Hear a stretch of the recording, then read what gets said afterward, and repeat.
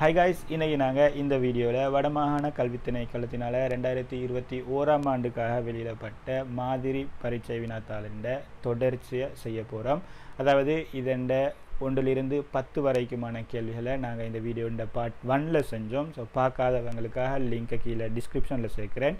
பார்த்துக்கொள்ளுங்க. இங்கே நாங்கள் பதினோராவது கேள்வியிலிருந்து பார்க்க போகிறோம் அந்த வகையில் பதினோராவது கேள்வி சொல்கிறாங்க ஒரு தாக்கம் தாராங்க. தாக்கத்தில் ஏ ஆனது சிவப்பு பாசிச்சாயத்தாலை நீர நிறமாக மாற்றியது சி ஒரு உப்பாகும் எனின் ஏபி என்பன முறையே. சரி அமிலம் மூலங்கள் உப்புண்ட பாடத்தில் இந்த கேள்வி வந்திருக்கு. உங்களுக்கு தெரியும் அமிலங்கள் மூலங்கள்ன்றது படிச்சிருப்பீங்க. அந்த வகையில் அமிலங்களை எங்களுக்கு பிரதானமாக ரெண்டாக பிரிக்கலாம். ஒன்று வன் அமிலம் மென் அமிலம். அமிலங்களை ரெண்டாக பிரிக்கிறோம். வன் அமிலம் அதே போல் மின் அமிலம். அதே போல் மூலங்களையும் மூலங்களையும் நாங்கள் ரெண்டாக பிரிக்கிறோம். வன் மூலம் அதே போல் மின் மூலம். ரைட் அந்த வகையில் இப்போ பாருங்கள் அமிலம்டா தெரிஞ்சு வச்சுக்கொள்ளுங்க. என்னெண்டா? ஒரு பதார்த்தம் இருக்குது ஏதோ ஒரு பதார்த்தம் நான் சேர்க்கிறேன் நீருக்கு சேர்க்க போகிறேன் சேர்த்தா அது இந்த நீர் கரைசலில் ஹெச் ப்ளஸ் அயனை விடுவிக்குமாக இருந்தால் ஹெச் ப்ளஸ் அயனை விடுவிக்குமாக இருந்தால் அதை நான் சொல்கிறது அப்போ நான் இந்த சேர்த்த பதார்த்தம் என்ன இருக்க போகுது? அமிலமாக இருக்க போகுது. இன்னமொரு பதார்த்தம் என்கிட்ட இருக்குது அதை கொண்டு வந்து நான் நீருக்கு சேர்க்கிறேன் வைங்க. அதை நான் நீருக்கு சேர்த்தா அது நீரில் இருக்கிற ஓஹெச் மைனஸ் அயண்ட செறிவை அதிகரிக்க போகுது. அப்படி ஓஹெச் மைனஸ்ன்ற செறிவை அதிகரிக்குமாக இருந்தால் நான் அதை சொல்கிறேன் மூலம்னு நான் சொல்லுவேன். சரியா? இதுதான் அமிலங்களும் மூலங்களும். ஒரு பதார்த்தம் இருக்குது நீருக்கு சேர்க்கிறேன். நீரில் சேர்த்தா அது ஹெச் ப்ளஸ் அயனை விடுவிக்குதா? அப்போ அது அமிலம். இன்னும் ஒரு பதார்த்தம் இருக்குது அதை கொண்டு வந்து நீருக்கு சேர்க்கிறேன். அதாவது நீரில் கரையுது கரைஞ்சு அங்கே ஓஹெச் மைனஸ் ஆயின்ற செறிவு அதிகரிக்க செய்தா அப்போ அது மூலம்னு சொல்லுவோம். அதுலேயும் பாருங்க இங்கே வன் அமிலம் மென் அமிலம் அதே போல் வன் மூலம் மென் மூலம் இருக்குது இங்கே அதில் மீன் பண்ணுறது என்னண்டா? இப்போ உதாரணத்துக்கு எடுங்க. ஹெச்சிஎல் எடுங்களே. ஹெச்சிஎலை நான் நீரில் போட்டு கர நீருக்கு போட்டேன்டா. என்ன நடக்கும்டா? அது முற்றாக ஹெச் ப்ளஸ் ஆகவும் சிஎல் மைனஸ் ஆகவும் பிரிகை அடைய போகுது. அப்போ நான் ஹெச்சிஎல் இதுக்கு சேர்த்த பிறகு இந்த கரைசலில் என்ன இருக்கும்னு கேட்டால் ஹெச் ப்ளஸ் இருக்க போகுது சிஎல் மைனஸ் இருக்க போகுது. அதே போல் இது நீருன்றதால நீரில் இருந்து வர OH ஓஹெச் மைனஸும் இது உள்ளுக்கும் இருக்க போகுது. சரியா? இது தவிர வேறு எதுவும் அங்கே இருக்க போகிறது இல்லை.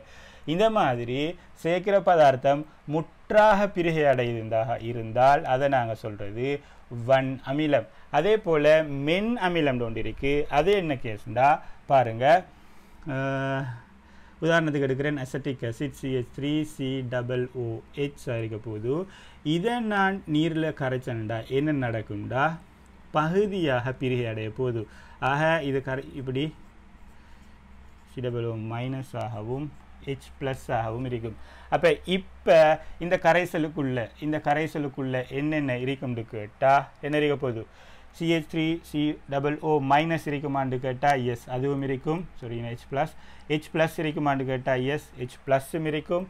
C H three C double O H இருக்குமான்னு கேட்டால் எஸ் அதுவும் இருக்கும். அப்போ ஃபுல்லாக பிரிகை அடையில் பகுதி அளவில் தான் பிரிகை அடைஞ்சிருக்க போது இந்த மாதிரி பகுதி அளவில் பிரிகை அடைஞ்சு ஹெச் ப்ளஸ்ஸை விடுவிக்கிறத தான் நாங்கள் மென் அமிலம்னு சொல்லுவோம். சரியா? அப்போ வன் அமிலம்டா முற்றாக பிரிகை அடைய போகுது மென் அமிலம்டா பகுதியாக பிரிகை அடைய போகுது. அதே தான் வன் மூலமும் மென் மூலமும். உதாரணத்துக்கு என்கிட்ட என்ஏஓஹெச் இருக்குது அதை நான் நீருக்கு சேர்க்கிறேன். அது முற்றாக பிரிகை அடைய போகுது. ரைட் அதே நேரம் மென் மூலம் உதாரணத்துக்கு எடுக்கிறேன். NH4OH என்று இருக்கின்றீங்க இது வந்து பகுதி அளவில் தான் பிரிகை அடைய போகுது. ஆகவே அது NH4 ஃபோர் ப்ளஸ்ஸையும் ஓஹெச் மைனஸையும் உருவாக்க போகுது. இப்போ நான் என்ஹெச் ஃபோர் ஓஹெச்சை நீரில் கரைச்சோம்டா அங்கே என்ன இருக்க போகுது? NH4 ஃபோர் ப்ளஸ் அயன் இருக்கும்? OH மைனஸ் அயன் இருக்கும்? அதே போல் இந்த என்ஹெச் ஃபோர் ஓஹெச்சும் இருக்க போகுது. அதுவே நான் NaOH நீரில் கரைச்சேன்டா அந்த கரைசல் என்ன இருக்க போகுது? என்ஏ ப்ளஸ்ஸும் ஓஹெச் மைனஸும் தான் இருக்க போகுது. இங்கே என்ஏஓஹெச் சேர்வையாக இருக்க போகிறது இல்லை. சரி இப்போ உங்களுக்கு இதில் வன் அமிலம் வன் மூலம் அதே போல் மென் அமிலம் மென் மூலம்டா என்னென்று விளங்கி இருக்கும்னு நினைக்கிறேன். அதே நேரம் நடுநிலையாக்கம் ஒன்று இருக்கு அதாவது நடுநிலையாக்கம்ன்றது என்னண்டா? இந்த வன் அமிலத்தையும் வன் அமிலத்தையும் வன் மூலத்தையும் சேர்த்து தாக்கமடைய வைக்கிறது. ரைட் வன் அமிலத்தையும் வன் மூலத்தையும். இப்போ நான் பார்த்தேன் ஹெச்சிஎல் வன் அமிலம் வன் மூலத்துக்கு உதாரணம் ஒன்று எடுக்கிறேன். NaOH ரைட் இது ரெண்டையும் தாக்கம் அடைய விட்டால் என்ன நடக்க போகுது? என் ஏசிஎல் உருவாக போகுது. அதோட சேர்த்து H2O உருவாக போகுது. அதாவது இதில் வர ஹெச் ப்ளஸ்ஸும் இங்கே இருக்கிற ஓஹெச் மைனஸும் சேர்ந்து ஹெச் H2O உருவாக்கும்.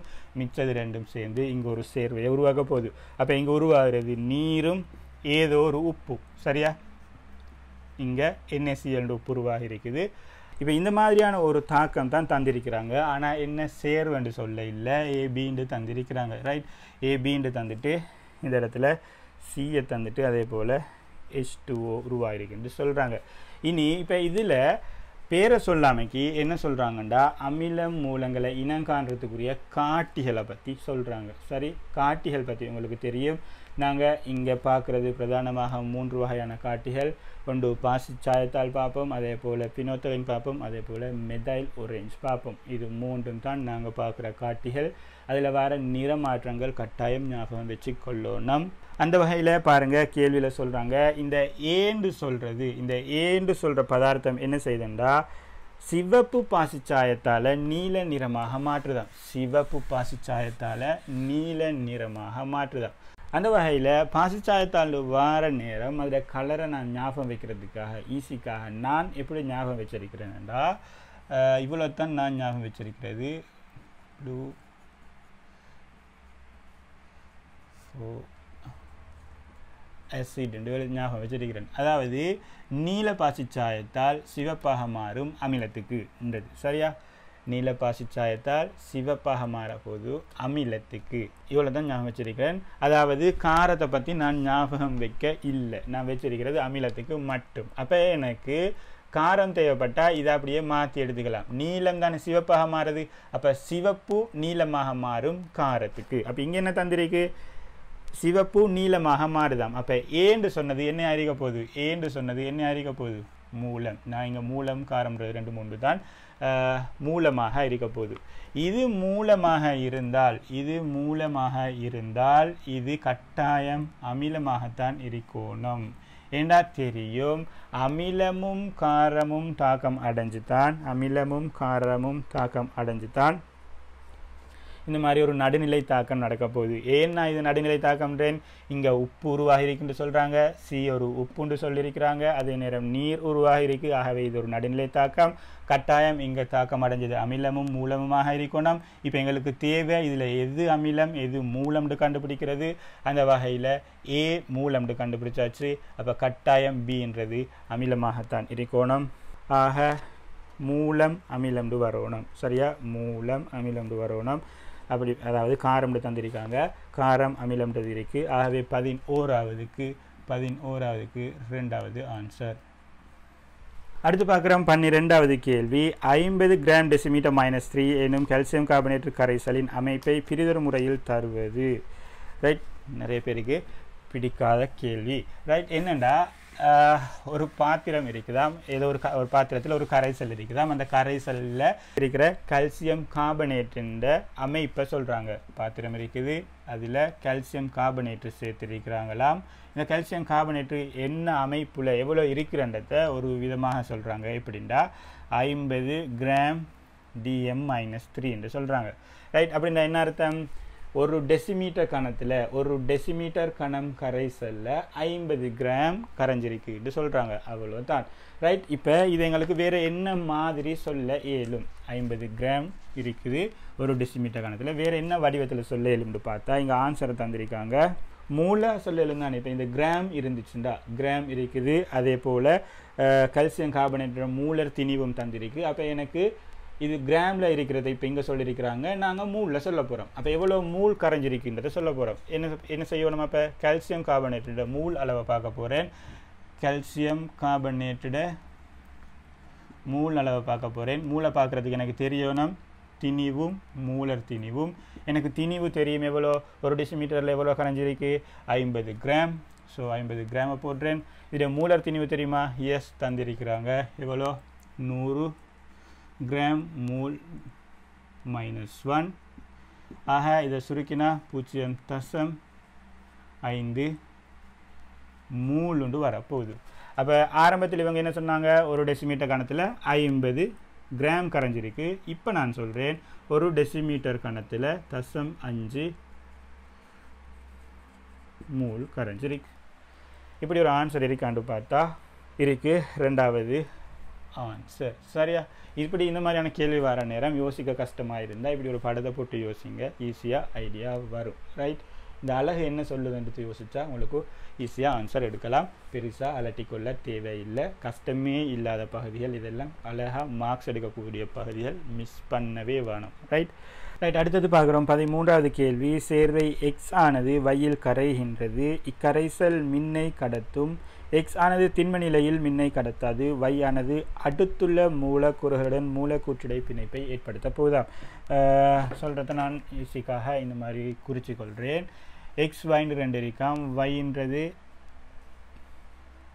வையில் கரைகின்றது சொல்கிறாங்க அப்போ வையானது இங்கே இருக்க போது எக்ஸுன்றத இங்கே சேர்க்க போகிறாங்க எக்ஸுன்றது இதில் போய் கரைஞ்சால் மின்ன கடத்துமாம். ஆனால் திண்ம நிலையில் மின்ன கடத்த போகிறது இல்லையாம். எக்ஸுன்றது திண்மமாக இருக்கிற நேரத்துக்கு மின்ன கடத்துமான்னு கேட்டால் இல்லை. சரி இதுதான் விஷயம். அது போக என்ன சொல்லியிருக்காங்கண்டா? வையானது அடுத்துள்ள மூலக்கூறுகளுடன் மூலக்கூற்றிடை பிணைப்பை உண்டாக்கும். மூலக்கூற்று பிணைப்புகள் பற்றி பார்க்குற நேரம் அதாவது பிணைப்புகள் பற்றி பார்க்குற நேரம் மூலக்கூறுகளுக்கு இடையிலான பிணைப்பும் இருக்குது மூலக்கூறுகளுக்கு உள்ளுக்கு இருக்கிற மூலக்கூற்று அக பிணைப்பும் இருக்குது நான் நினைக்கிறேன் அது மூலக்கூற்று அகப்பிணைப்புன்றது சரியான டிரான்ஸ்லேட்டர் தெரியாது. மொலிக்குலர் போண்டு வந்து inter molecular bonds intra molecular bonds என்று சொல்லுவோம். அதாவது இப்போ உதாரணத்துக்கு கேட்டுங்களே நீர் இருக்கு ஹெச் டூஓ இருக்குது இந்த ஹெச் டூஓவை எங்களுக்கு பிணைப்பாக காட்டுறதாக இருந்தால் இந்த மாதிரி இருக்க போகுது. இப்போ இது ஒரு மூலக்கூறு. இந்த மூலக்கூறு உள்ளுக்கு இருக்கிற பிணைப்பு தான் இது. அப்போ இது மூலக்கூற்று ஆக பிணைப்புண்டு சொல்லலாம். சரியா? எங்களுக்கு இதை மூலக்கூற்று ஆக பிணைப்புண்டு சொல்லலாம். அதுபோக மூலக்கூறுகளுக்கு இடையிலான ஒரு பிணைப்பு இருக்க போகுது. அதாவது இப்போ இது ஒரு மூலக்கூறு அது உள்ளுக்கு ஒரு பிணைப்பு இருக்குது அது அங்கே இருக்கட்டும். இப்போ ஹெச் டூவை இந்த மாதிரி நிறைய இருக்கிற டைமை கற்பனை பண்ணுங்களேன்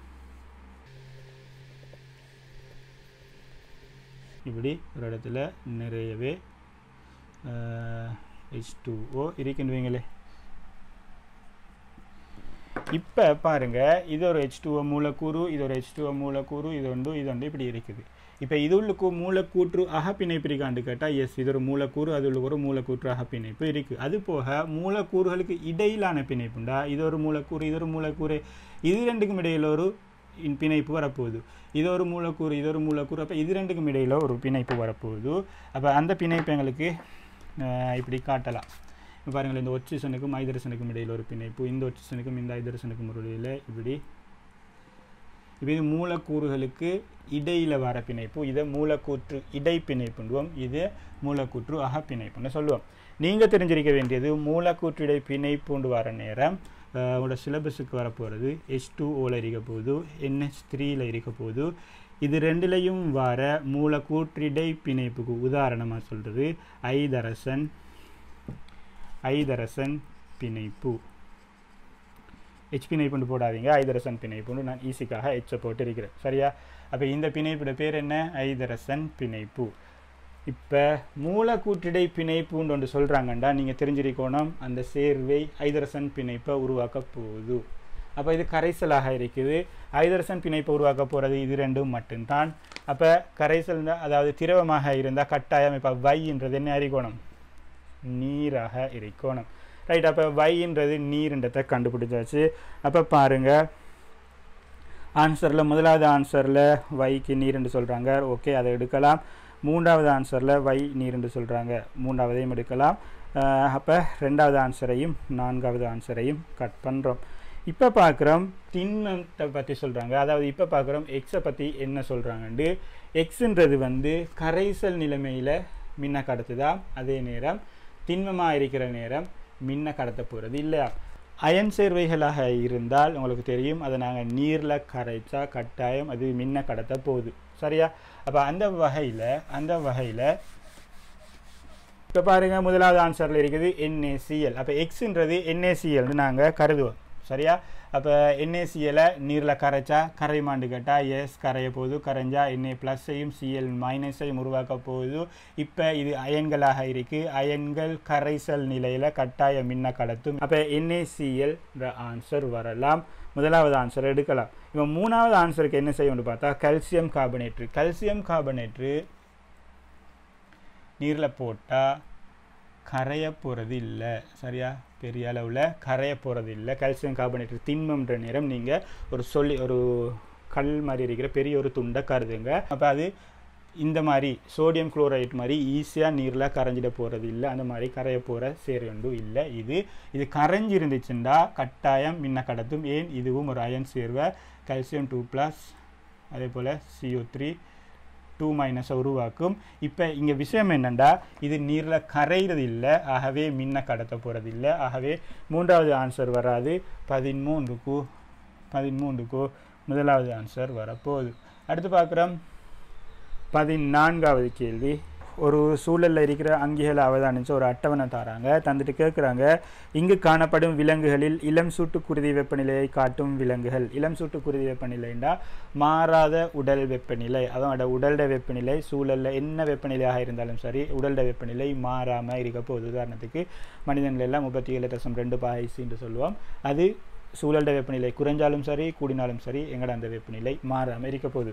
இந்த மாதிரி இருக்கிறது தான் நாங்கள் இளம் சூட்டு குருதி வெப்ப வெப்பநிலை என்று சொல்லுவோம். இளம் சூட்டு குருதி வெப்பநிலையை காட்ட போகிறது ரெண்டே ரெண்டு முள்ளன் தண்டு விலங்கு கூட்டங்கள் தான். அந்த வகையில் ஆவேசும்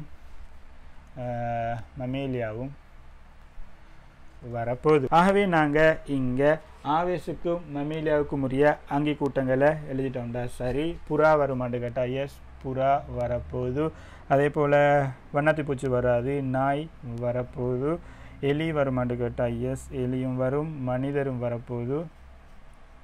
கோழி வரப்போகுது ஆவேஸில் பச்சோந்தி வரப்போகிறது இல்லை பச்சோந்தின்றது ரெப்டீலியாவுக்குரியது ஸோ அப்போ இதோட எண்ணிக்கை நாங்கள் கூட்டி கொடுத்தோம்டா சரியாக இருக்க போகுது. ஸோ பதினான்காவதுக்கு பதினான்காவதுக்கு முதலாவது விட. பதினைந்தாவது கேள்வியில் கேட்குறாங்க இங்கு காணப்படும் பாலூட்டிகளின் எண்ணிக்கை. பாலூட்டிகள்ன்றது மெமேலியாவுக்குரியது. ஸோ மெமேலியாவுக்குரியதில் வரப்போகிறது என்னென்னு கேட்டால் புறா வந்து ஆவேஸ் சொன்னத்து பூச்சி வரப்போகிறது இல்லை நாய் வரப்போகுது. அதே நேரம் எலி வரப்போகுது. மனிதர்கள் வரப்போகுது. கோழி வரதில்லை. பச்சொந்தி வரதில்லை. ஸோ அப்போ இவங்க மூணு பேர்கிட்டையும் எண்ணிக்கையை கூட்டி போட்டால் சரியாக இருக்க போகுது. இப்போ அந்த வகையில் ஸோ பதினைந்தாவதுக்கு நான்காவது ஆன்சர் வரப்போகுது.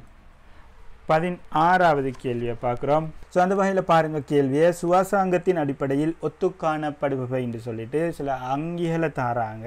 ஸோ அந்த அங்கிகளில் எது எல்லாத்துக்கும் ஒத்த சுவாசாங்கம் இருக்குதோ அதை நாங்கள் சூஸ் பண்ணணும். அந்த வகையில் முதலாவது ஆன்சரை பாருங்கள் திமிங்கிலம் மற்றும் சுறா. திமிங்கிலம்னு சொல்கிறது ஒரு மெமேலியா அல்லது முளையூட்டிக்குரியது. ஸோ அங்கே இருக்க போகிறது நுரையீரல். ஸோ சுறான்றது வந்து பிசஸ் அதாவது மீன்களுக்குள்ளே வரப்போகுது. மீன்கள் இருக்க போகிறது பூக்கள் அப்போ திமிங்கிலம்ன்றது நுரையீரல் சுறான்றது பூக்கள் ஆகவே அது ரெண்டும் வரப்போகிறது இல்லை. ரெண்டாவது தவளை மற்றும் மீன். தவளையில் இருக்கிற சுவாசாங்கத்தை பார்த்தோம்னா தவளையில் இருக்க போகிறது பிரதானமாக நுரையீரல் அது போக தோளினால் சுவாசிக்கும் அதே நேரம் வாய்க்குழினால் சுவாசிக்க போகுது. மீனுண்டு வர நேரம் மீன்கள் இருக்க போகிறது கட்டாயம் பூக்களாக இருக்க போகுது. மூன்றாவது ஆன்சரை பார்க்குறோம். வாட்பை மற்றும் மீன். வாட்பை என்று சொல்கிறது தவளையின் இளம் பருவம். அங்கே இருக்க போகிறது பூக்களாக இருக்கும். மீன்கள்லையும் இருக்க போகிறது பூக்களாக இருக்கும். உங்களுக்கு தெரியும் தவளைன்றதில் ஆரம்ப கட்டம் வாட்பையாக இருக்க போகுது பிறகு தான் அது தவளையாக மாறப்போகுது. ஸோ ரெண்டும் வித்தியாசமான வெவ்வேறு உருவ வடிவங்கள் இருக்குது. ஆகவே உருமாற்றத்தை காட்டுற அங்கி கூட்டம்னு கூட நாங்கள் இந்த எம்ஃபிபியாக்களை சொல்லுவோம். ஆகவே மூணாவது ஆன்சரில் பாருங்கள் வாட்பையிலையும் பூக்கள் மீன்லையும் பூக்கள். ஸோ அதுதான் ஆன்சராக வரப்போகுது. மேலதிக விளக்கத்துக்காக நாங்கள் நான்காவது ஆன்சரையும் பார்க்குறோம். நான்காவது ஆன்சரில் பாருங்கள் கரப்பான் பூச்சி மற்றும் தேன் சிட்டு இருக்குது கரப்பான் பூச்சின்றது ஆத்ரப்போடா தேன் சிட்டுன்று சொல்கிறது பறவைகள். ஆவேஸ் ஆவேஸில் இருக்க போகிறது நுரையீரல். ஆத்ரப்போடாவில் இருக்க போகிறது ஏட்டு நுரையீரல். அது நீங்கள் தெரிஞ்சிருக்க வேண்டிய அவசியம் இல்லை. ஸோ பதினாறாவதுக்கு ஆன்சர் மூன்றாவது வரப்போது பதினேழாவது கேள்வியை பார்க்க போகிறோம் அந்த வகையில் இந்த கேள்வியை பாருங்கள் நெஃப்ரைட்டிஸ் நோய் தொடர்பாக தவறான கூற்று என்னென்னு சொல்லிட்டு சில கூற்றுகள் தராங்க. ஞாபகப்படுத்தி பாருங்கள் சிறுநீரக தொகுதி பற்றி படிச்சிருக்கிறோம். சிறுநீரகத்தின் கட்டமைப்பு அழகு படிச்சிருக்கிறோம். அதே நேரம் சிறுநீர் உற்பத்தி பொறிமுறையிட படிமுறைகள் பற்றி படிச்சிருக்கிறோம். அதே நேரம் சிறுநீரகத்தி தான் சிறுநீரகத்தின் கட்டமைப்பு அழகாக இருக்குது. கட்டாயம் அதை பற்றி தெரிஞ்சு கொள்ளுங்கள் அதில் பெயர் குறிக்க தெரிஞ்சிருக்கணும். அதே நேரம் சிறுநீரக தொகுதி சம்பந்தமான நோய்கள் பற்றி படிச்சிருக்கிறோம். நோய்கள் பற்றி பேசுகிற நேரம் பிரதானமாக மூன்று நோய்கள் பேசுகிறோம் முதலாவது சிறுநீரக செயலிழப்பு அடுத்தது நெஃப்ரைட்டிஸ் அடுத்தது சிறுநீரகம் அல்லது சிறுநீர் பையில் கற்கள் தோன்ற நிகழ்வு. இது மூன்றும் தான் நாங்கள் நோய்களாக பார்க்குறது. அதில் சிறுநீர செயலிழப்புன்றது என்னென்னா சிறுநீரக செயலிழப்புன்றது அங்கே நச்சுத்தன்மை காரணமாக அல்லது தொற்றுக்கள் காரணமாக பார உலோகங்கள் அதே போல் சிசிஎல் ஃபோ கார்பன் நாட் குளோரைட்டோட தாக்கம் தொடர்ச்சியான மருந்துகளின் பாவனை. இது போன்ற காரணங்களினால் எங்களோட சிறுநீரகத்திட செயற்பாடு வினைத்திறன் குறைய போகுது. இதனால் குருதியை ஃபில்டர் பண்ணுற அளவு குருதியை வடிக்கிற அளவு குறைய போகுது. இப்படி வடிக்கிற அளவு குறைஞ்சா என்ன நடக்கும்னா எங்களோட உடம்புலேருந்து வெளியேற்றப்பட போகிற கழிவுகள் யூரியா யூரிக் ஆசிட் இந்த மாதிரியான கழிவுகள் வெளியேற்றப்பட போகிற அளவு குறையும். ஆக அந்த கழிவுகள் என்ன நடக்க போகுது? எங்களோட உடல் இலையங்களில் எல்லாம் தேங்கி நிற்க போகுது. அப்படி நின்றா எங்களோட உடம்பு வீக்கமடைய போகுது. அதே நேரம் தன்மை ஏற்பட போகுது. இந்த மாதிரியான பிரச்சனைகள் வரும். குருதியின் பிஹெச் எல்லாம் அதிகரிக்க போகுது. இதால் பல சிக்கல் வரும். ஒரு டூ வீக்ஸ் உள்ளுக்கு மாதிரி நாங்கள் இதுக்கு ட்ரீட்மெண்ட் கொடுக்க இல்லைண்டா மொத்தமாக சிறுநீரக செயலிழப்பு ஏற்பட போகுது. அக்யூட் ரீனல் ஃபெயிலியர்னு சொல்லுவோம். அது போக நெஃப்ரைட்டிஸ் பற்றி சொல்கிறதாக இருந்தால் நெஃப்ரைட்டிஸ்ன்றது மெயினாக இந்த கலன் கோல சிக்கலில் வரப்போகிற இஷ்யூ நெஃப்ரோன் பற்றி தெரியும். அதாவது இந்த மாதிரி இருக்க போகுது ஃபோமனின் உரை இது உள்ளுக்கு உட்காவு புண்ணாடி வருது இது உள்ளுக்கு சிக்கல் அண்டு உருவா போகுது இதை கலன் கோல சிக்கல்டுவோம் இப்போ இதில் வர வீக்கம் தான் நீங்கள் பிரச்சனையாக போகுது. சரியா? இதுக்கு காரணம் என்னென்னு கேட்டால் நச்சுத்தன்மையாக இருக்கலாம் தொற்றாக இருக்கலாம். தொற்றுண்டா ஏதோ ஒரு கிருமியினால் ஏற்பட போகிற தொற்று அந்த தொற்று சிறுநீர் வழியினூடாக ஏற்படலாம் அல்லது வேறு எது வேறு ஏதோ ஒரு முறையில் ஏற்படலாம். அப்படி தொட்டு நடக்கிறதால இந்த இடத்துல வீங்க போது வீங்கினா என்ன நடக்கும்னு கேட்டால் இங்கே வர குருதிண்ட அளவு குறைஞ்சி வடிக்கப்பட போகிற குருதியின் அளவு குறையும். வடிக்கப்பட போகிற குருதியின் அளவு குறைஞ்சால் சிறுநீர் உற்பத்தி அதாவது சிறுநீர் வெளியேற அளவு குறைய போது அதே நேரம் இந்த அலட்சியின் காரணமாக இந்த கலன்கோல சிக்கலில் இருந்து இந்த கலன்கோலத்தில் இருந்து செங்குளியங்கள் சாரி செங்குளியங்கள் வடிக்கப்பட போகுது. ஆனால் ஆரோக்கியமான ஒருத்தர்கிட்ட உங்களுக்கு தெரியும். இதனூடாக குருதி கலங்கள் அதே போல் குருதி புரதங்கள் ஒரு போதும் வடிக்கப்படுறது இல்லை.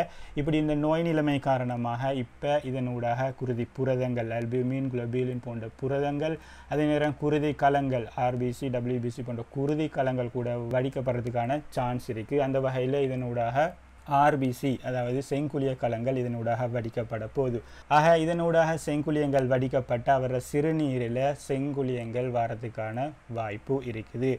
அதே நேரம் புரதம் இவர இந்த இடத்துல வடிக்கப்படுறதால இவரோட சிறுநீரினூடாக புரதமும் வெளியேற போகுது. புரதம் சிறுநீரினூடாக வெளியேறதால உடம்புல இருக்கிற புரதத்தின் அளவு குறைய போகுது.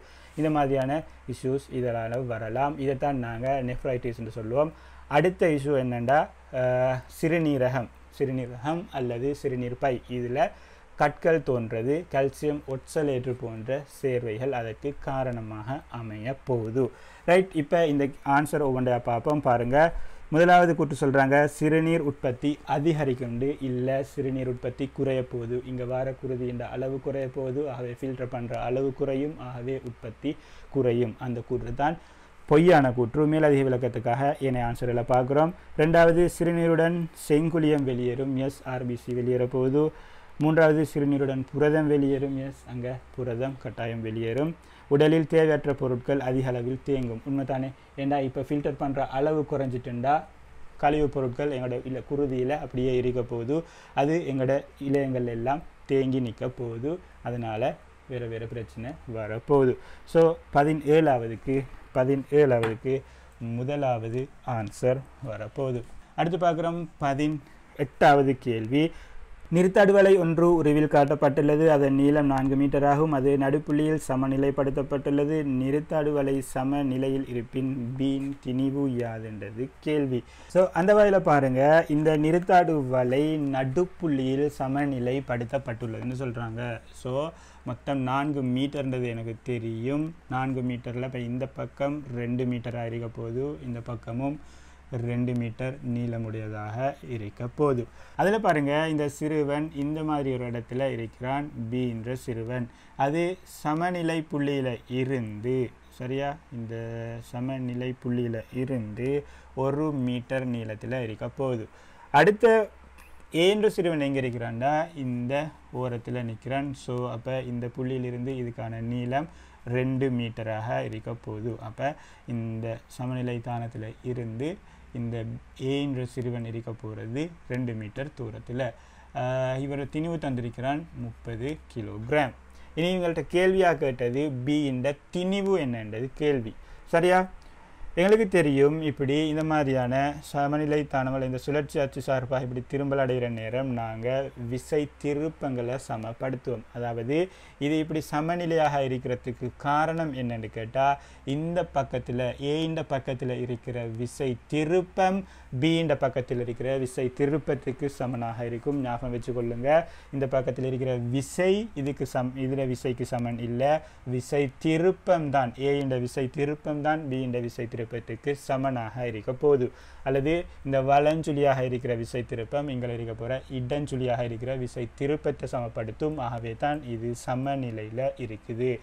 ஆக நாங்கள் இப்போ இந்த விசை திருப்பத்தை ஏன்ற விசை திருப்பத்தை பின்ற விசை திருப்பத்துக்கு சமப்படுத்தினோம்னா எங்களுக்கு அதில் இருந்து பின்ற திணிவை காணக்கூடியதாக இருக்கும். விசை திருப்பம்ன்றது உங்களுக்கு தெரியும். விசை தர சமநிலை தானத்தில் இருந்தான அந்த செங்குத்து நீளம் அல்லது அந்த சுழற்சி அச்சில் இருந்தான செங்குத்து நீளம். இப்போ எங்களுக்கு தெரியும் விசை திருப்பம்ன்றதுக்காக நாங்கள் இங்கே விசை போட இல்லை. ஏன்டா எங்கள்கிட்ட கேட்டது திணிவு. ஆகவே நான் விசை போடுறதுக்கு அதாவது பத்தால் பெருக்கி போட்டால் அது இங்கல பக்கத்துலேயும் கட் ஆகும் இங்கல பக்கத்துலேயும் கட் ஆகும். ஸோ நான் டிரெக்டாக திணிவாகவே பிரதியிட போகிறேன் ஏஇந்த பக்கத்தில் இருக்கிற விசை திருப்பம் முப்பது கிலோகிராம் தர நீளம் நண்டு கேட்டால் ரெண்டு மீட்டர் சமன். பீண்ட பக்கத்தில் இருக்கிற விசை திருப்பம் திணிவு எனக்கு தெரியாது. நான் அதை அப்படியே பீண்டு போடுறேன். நீளம் ஒரு மீட்டர் சுருக்கினோம்டா அறுபது கிலோகிராம்டு வரப்போகுது. ஸோ பதினெட்டாவதுக்கு அறுபது கிலோகிராம் நான்காவது ஆன்சர் அடுத்து பார்க்குறோம் பத்தொன்பதாவது கேள்வி. கீழே தரப்பட்ட வெப்பமானிகளில் முப்பது பாகை சி வெப்பநிலையை அளவிட பொருத்தமான வெப்பமானி எது என்றது கேள்வி. எல்லாம் ஒரே வகையான வெப்பமானியாக இருக்க போகுது நான் நினைக்கிறேன். இரச வெப்பமானியாக இருக்கும். சரி அப்படியாக இருந்தால் இதில் எதனால் எங்களுக்கு முப்பது பாகை வெப்பநிலையை வெப்பநிலையை அளக்கலாம்ன்றது கேள்வி. உண்மையாக சொல்கிறதாக இருந்தால் இங்கே இருக்கிற நான்கு வெப்பமானிகளாலையும் முப்பது பகைசி வெப்பநிலையை அளக்கலாம். அதில் பிரச்சனை இல்லை. அதுலேயும் தெளிவாக எதில் அளக்கலாம்? ஆகவே பொருத்தமான வெப்பமானி எதுன்றது தான் இந்த இடத்துல கேள்வி. முதலாவது பாருங்கள் உங்களுக்கு தெரியும் வெப்பமானிகள் எல்லாம் குறித்த ஒரே நீளமுடியாது தான் இருக்க போகுது? இந்த மாதிரி இது வெப்பமானின்னு வைங்க சரியா? இப்போ அந்த நான்கு வெப்பமானிகளையும் தந்திருக்கு.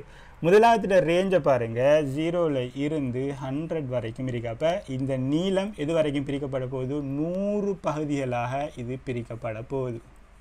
அப்படி தானே ரெண்டாவது ரேஞ்சை பாருங்கள் பத்தில் இருந்து நாற்பது வரைக்கும் இருக்குது. அப்போ இது உள்ளுக்கும் பிரிக்கப்பட போகிறது இது உள்ளுக்கு பிரிக்கப்பட போகிறது முப்பது பகுதிகளாக தான் பகுதிகளாகத்தான் இது பிரிக்கப்பட போகுது. நான் பகுதிகள்னு சொல்கிறது என்னென்னா இப்படி நாங்கள் இப்போ பிரிக்கிறதுக்கு அளக்கிறதுக்கு இந்த மாதிரி கோடு போடு போடுவோமே. அது மாதிரி முப்பது கோடு தான் இதுள்ளுக்கு வரப்போகுது. ஆனால் இதுள்ளுக்கு வரப்போகிறது நூறு கோடுகள். அதே நேரம் இதில் வீச்சை பாருங்கள் முப்பதில் இருந்து நூற்றி முப்பது வரை இருக்குது ஸோ இதுவும் நூறு பகுதிகளாக பிரிக்கப்பட போகுது. நான்காவது பாருங்கள் கேவலமாக இருக்குது மைனஸ் ஹண்ட்ரடில் இருந்து இருநூறு வரை இருக்குது அதாவது இது இருநூறு பகுதிகளாக பிரிக்கப்பட போகுது. சரியா? அப்போ உண்மையாக கேட்டால் இது எல்லாத்துலேயும் எனக்கு முப்பது பகசியை அளக்கலாம் எந்த பிரச்சனையும் இல்லை. ஆனால் தெளிவாக எனக்கு வாசிப்பு எடுக்கக்கூடியது எதுன்னு கேட்டால் இதுவாக இருக்கும். ஏண்டா? அழக அளவிடைகள் நல்ல கெப் விட்டு தெளிவாக இருக்கும். ஸோ எனக்கு முப்பது முப்பது பகைசின்றத எனக்கு அழகாக ரீட் பண்ணக்கூடியதாக இருக்கும். ஸோ அந்த வகையில் பத்தொன்பதாவதுக்கு ரெண்டாவது ஆன்சர் வரப்போகுது. அடுத்தது பார்க்குறோம். இருபதாவது கேள்வி. பாருங்க ரெண்டு கிலோகிராம் தினியுடைய செப்பு குண்டு ஒன்றின் வெப்ப கொள்ளளவு எண்ணூறு ஜூல் பாகை சி மைனஸ் ஒன் ஆகும். இதன் வெப்பநிலையை நாற்பது பாகை சீனால் உயர்த்தும் போது தேவைப்படும் வெப்ப சக்தி யாதுன்றது? கேள்வி. ரைட் தரமான கேள்வி உண்டு. பாருங்க. நாங்கள் வெப்ப கொள்ளளவு அதே போல் தன் வெப்ப கொள்ளளவுன்னு ரெண்டு விஷயம் படிச்சிருக்கிறோம். கொஞ்சம் அதை ஞாபகப்படுத்துகிறேன் ஒரு பொருளோட நார்மலாக ஒரு பொருளோட வெப்பநிலையை உயர்த்துறதுக்கு எவ்வளோ சக்தி தேவைன்னு பார்க்குறதுக்கு நாங்கள் பொதுவாக என்ன செய்வோம்? தேவையான சக்தி உதாரணத்துக்கு கியூன்னு எடுத்தால் எம்சி டீட்டான் எடுக்க போகிறோம் எம்ன்றது அந்த பொருளோட திணிவு சீன்றது அந்த பொருளோட தன்வெப்ப கொள்ளளவு டீட்டான்றது வெப்பநிலை வித்தியாசம். எத்தனை பாகையால் நாங்கள் அதை உயர்த்தணுன்றது ரைட் அது போக இப்போ நான் வெப்ப கொள்ளளவு தன் வெப்ப கொள்ளளவுன்றதை பற்றி கொஞ்சம் சொல்கிறேன் இப்போ உதாரணமாக என்கிட்ட ஒரு கல் இருக்குது சரியா? இப்படி ஒரு கல் இருக்குது. அதே போல் இந்த மாதிரி ஒரு தடிப்பான ஒரு உலோகம் அதாவது இரும்பினாலான ஒரு கோல் இருக்குது. அதே போல் என்கிட்ட இன்னும் ஒன்று இப்படி அலுமினியத்தினாலான இது மாதிரி தடிப்பான ஒரு பா இது இருக்குது. அப்போ இது என்ன? கல் இது என்ன? இரும்பு இது என்ன? அலுமினியம். இப்போ நான் இதோட வெப்பநிலை இப்போ சாதாரணமாக முப்பத்தி ரெண்டு பாகைசியில் இருக்குது. சாதாரண எங்களோட சூழலில் இருக்குது. முப்பத்தி ரெண்டு பாகைசின்னு எடுப்போம். இதை நான் வெப்பமேற்றணும். உதாரணத்துக்கு ஐம்பது பாகைசி வரைக்கும் இது எல்லாத்தையும் நான் வெப்பமேற்றணும் வெப்பம். எனக்கு இது ஐம்பது பாகைசி வர வெப்பமேற்றத்துக்கு வழங்கப்பட வேண்டிய ஒரு வெப்ப சக்தி இருக்கே. அந்த சக்தியும் இதுக்கு வழங்க போகிற அந்த சக்தியும் இதுக்கு வழங்க போகிற அந்த சக்தியும் ஒன்றாக இருக்குமான்னு கேட்டால் நிச்சயமாக இருக்காது. ஏன்னு கேட்டால் அந்த வழங்கப்பட வேண்டிய சக்தி வந்து கட்டாயம் இதை ஆக்கி இருக்கிற இந்த திரவியத்தில் தங்கி இருக்க போகுது. சரியா? அதாவது அதை இன்னமும் உங்களுக்கு தெளிவாக சொல்கிறதாக இருந்தால் எப்படின்னா பாருங்கள் இப்போ இது இருக்கிறது முப்பத்தி ரெண்டு பாகை சியில் இரு எனக்கு மாற்ற வேண்டியது ஐம்பது பாகை சிக்கு. ஆனால் வெப்ப அதிகரிப்பு என்ன இருக்க போகுதுங்க அப்போ? இதில் டீட்டாவாக இருக்க போகிறது பதினெட்டு. இதில் டீட்டாவாக இருக்க போகிறதும் பதினெட்டு. இதில் டீட்டாவாக இருக்க போகிறதும் பதினெட்டு. ஆனால் நான் வழங்க வேண்டிய சக்தி கட்டாயம் இது மூணுக்கும் வித்தியாசப்பட போகுது. அப்போ என்ன? அந்த சக்தி வெப்பநிலை மாற்றத்தை மட்டும் தங்கி இல்லை இந்த திரவியத்தையும் சார்ந்திருக்கு. அந்த திரவியத்தை சார்ந்திருக்கிற அந்த கணியத்தை தான் நாங்கள் வெப்ப கொள்ளளவுண்டு சொல்லுவோம். சரியா? அப்போ அந்த வெப்ப கொள்ளளவுன்றது இந்த திரவியத்தை சார்ந்த கணியம் இதுக்கு இப்போ வெப்ப கொள்ளளவு கூடையாக இருந்தால் அதிக வெப்ப சக்தி வழங்க வேண்டியதாக இருக்கும். ஆகவே வெப்ப கொள்ளளவுன்றது அந்த பொருளோட அந்த திரவியம் சார்ந்த அந்த கணியம் இப்போ அது திணிவில் சம்மந்தப்பட்டு இல்லை. இது எத்தனை கிலோவாக இருந்தாலும் சரி இப்போ இதோட வெப்ப கொள்ளளவு நான் சொல்கிறேன் உதாரணத்துக்கு ஐநூறு ஜூல் பாகை சி மைனஸ் ஒன்னு சொல்கிறேனே அப்போ இதில் திணிவு எனக்கு வேலை இல்லை. இதில் இந்த கல்லிட வெப்ப கொள்ளளவு அந்த கணியம் ஐநூறு ஜூல் பாகை சி மைனஸ் எடுக்கிறேன். அதே போல் இதுக்கு உதாரணமாக நான் எடுக்கிறேன் முந்நூறு இருக்கின்றது. முந்நூறு ஜூல் பாகை சி மைனஸ் ஒன் எடுக்கிறேன். இதுக்கு ஒரு இருநூறு ஜூல் பாகை சி மைனஸ் ஒன் எடுக்கிறேன். இது என்னது? வெப்ப கொள்ளளவு. ஆனால் இந்த மாதிரி வெப்ப கொள்ளளவுன்றது எங்களுக்கு எல்லாத்துக்கும் பார்த்து வைக்கிறன்றது சாத்தியம் இல்லாத விஷயம். ஏன்னா இப்போ எனக்கு இதில் திணிவு தெரியாது ஆனால் வெப்ப கொள்ளளவு தெரியும். இதுவே இப்போ இந்த கல்லிட திணிவு உதாரணத்துக்கு ஐந்து கிலோகிராமாக இருந்தால் ஐந்து கிலோகிராமாக இருக்குது. இதன் வெப்ப கொள்ளளவு ஐநூறு ஜூல் பாகை சி மைனஸ் ஒன்னு சொல்கிறாங்க அப்போ நீங்கள் எனக்கு சொல்லுங்கள் ஒரு கிலோகிராமு இந்த கல்லிட ஒரு கிலோகிராம் என்கிட்ட இருந்தால் ஒரு கிலோகிராம் இருந்தால் இதுக்கு தேவையான அந்த வெப்ப கொள்ளளவு என்னையாக இருக்கும்னு கேட்டால் நீங்கள் சொல்லுவீங்க கட்டாயம். எனது நூறு ஜூல் பாகை சி மைனஸ் ஒன் சரியா? இப்படி நீங்கள் சொல்ல போகிறீங்க ஆக இப்படி திணிவில் டிபெண்ட் இல்லாமல் மொத்தமாக அந்த தேவையான சக்தியை அந்த தேவையான கணியத்தை கண்டு வைக்கிறத தான் நாங்கள் சொல்கிறது வெப்ப கொள்ளளவுண்டு. அதே நேரம் ஒரு கிலோகிராமு ஒரு கிலோகிராமுக்கு தேவையான சக்தி எவ்வளோண்டு கண்டு வச்சுக்கிறத தான் நாங்கள் சொல்கிறது தன் வெப்ப கொள்ளளவுண்டு. சரியா? ஆக ஒரு பொருளோட இப்போ எங்களுக்கு வெப்பநிலை உயர்றதுக்கு தேவையான சக்தியை காணுங்கன்னு சொன்னால் வெப்ப கொள்ளளவு இருந்தால் அதில் திணிவு தேவையா எனக்கு? தேவை இல்லை இது மொத்தத்துடைய சக்தியை தான் தந்திருக்கு. ஸோ டிரெக்டாக எனக்கு காணலாம். அதுவே தன் வெப்ப கொள்ளளவு தந்திருந்தா தன் வெப்ப கொள்ளளவு தந்திருந்தா எனக்கு கட்டாயம் நான் திணிவை போட வேண்டி வரும். இதெல்லாம் உங்களுக்கு விலங்கு இல்லைன்னாலும் விடுங்க. பிரச்சனை இல்லை. விலங்கை ஏழுமண்டா விளங்கி கொள்ளுங்க. சிம்பிள் விஷயம் என்னென்னா வெப்ப கொள்ளளவுன்றது வெப்ப கொள்ளளவுன்றது கேபிட்டல் சியால் குறிப்போம். தன்வெப்ப கொள்ளளவுன்றது சிம்பிள் சியால் குறிப்போம். சரியா? ஒரு பொருளோட வெப்ப கொள்ளளவு இருந்தால் ஒரு பொருளோட வெப்ப கொள்ளளவு இருந்தால் அதுக்கு தேவையான சக்தியை காண்றதுக்கு நாங்கள் கேபிட்டல் சியை போட்டு டீட்டாவை போட்டால் ஓகே அப்படி இல்லையா? திணிவையும் தந்து தன் வெப்ப கொள்ளளவையும் தந்திருக்காங்களா? அப்போ எங்களுக்கு திணிவை போட்டு தன் வெப்ப கொள்ளளவு சிம்பிள் சியை போட்டு டீயை போட்டு டீட்டாவை போட்டு கணிக்கலாம். அவை இந்த பாத்திரத்தில் ஸோ உங்களை கொஞ்சம் கன்ஃபியூஸ் பண்ணுறதுக்காக பாத்திரத்தில் திணிவையும் தாராங்க அதே போல் வெப்ப கொள்ளளவையும் தாராங்க. நீங்கள் இங்கே என்ன எடுக்கணும்?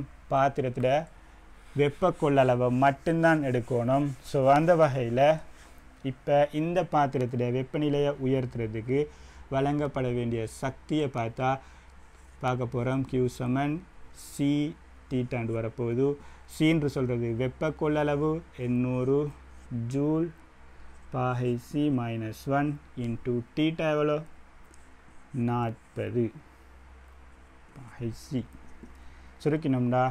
எட்நாலு முப்பத்தி ரெண்டு மூன்று பூஜ்ஜியம் இருக்குது இவ்வளோ சக்தி தான் எனக்கு தேவைப்பட போகுது. ஸோ இருபதாவதுக்கு வரப்போகிற ஆன்சர் என்னென்று கேட்டால் ரெண்டாவது ஆன்சர் இந்த இடத்துல எப்படி ஆன்சரையும் டெக்னிக்காக தந்திருக்கான்னு பாருங்கள் நீங்கள் எல்லாரும் பொதுவாக எம்சி போட்டு தான் இந்த கேள்வியை செய்ய போகிறாங்கன்னு தெரியும். எம் போட்டால் இந்த இடத்துக்கு ரெண்டு வரப்போகுது ரெண்டு வந்தால் இந்த இடத்துல ரெண்டால் பெருக்க போகிறீங்க அறுபத்தி நான்கு ஆயிரம் ஜூல் வரப்போகுது. அந்த ஆன்சரை முதலாவதே போட்டு வச்சுருக்காங்க. ஏன்னா நீங்கள் பிள்ளையாக கண்டுபிடிச்சா சந்தோஷமாக அதுக்கு மார்க் பண்ணுறதுக்காக வேண்டி. சரியா? ஸோ கொஞ்சம் யோசனையாக செய்யுங்க.